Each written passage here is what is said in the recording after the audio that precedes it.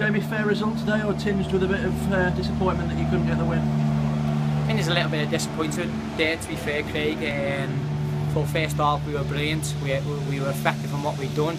We turned their right back and left back really well because that's before their weaknesses were. But thought we, we, we first half we, we shaded it for the better team. Second half it was a bit more even. Um, as you say, James scores the penalty. We come in one 0 and I think we we could have gone on on and won two three 0 To be honest with you, but listen, that's football. Um, I think it's a good point in the end. Good character though from the team. It's been questioned once or twice, but you were goal down, and ten minutes from then you've got yourselves an equaliser. Yeah, I think we have been questioned, haven't we? To be honest with you, because we want to do well at home. Um, the fans have, have probably seen a team from two weeks ago to a team now, which is more solid. Um, nice shape about us. We work hard, and, and we've seen that. So uh, you see the fans clapping us off the end. I thought we, we give 100%, and we're just unlucky with the result today. You've had to wait for your opportunity, really. Back-to-back -back games now for the first time, and I think your first appearance here. So you must be enjoying it. Yeah, I, I've just said there to um, on the lads, it's my first game in this league. I'm nice. I've, I've played a few pre-season games, but I've had to buy my time. It's been frustrating for me, but listen, I, I know what I mean. I, I know what I'm about. I'm, I'm, I'll be honest with you, I'm effective and horrible at what I do.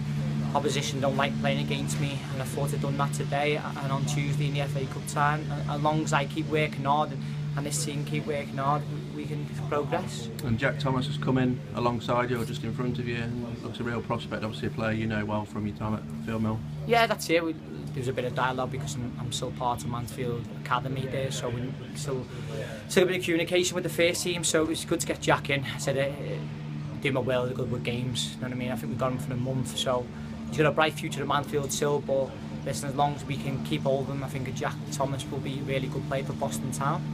What does next week hold in store for you? Obviously, you're an adopted Mansfield resident it's going to be a big game for AFC Mansfield and it's a big game for Boston United as well. Yeah, yeah, um, I'm only around the corner, um, so looking forward to the game. I know um, I know a few their players, so that'll be interesting, but um, I think it'll be a big crowd there. But listen, it, it, it's, a, it's the FA Cup tie, innit? I think we've got to concentrate on ourselves. Um, we've got to go there, just be professional, nice solid performance from ourselves, and hopefully we can get the win and go for the next round. And important to get something today because it's a bit stop-start at the moment with FA Cup games and, and league games, so you don't want to be too long without points in the league.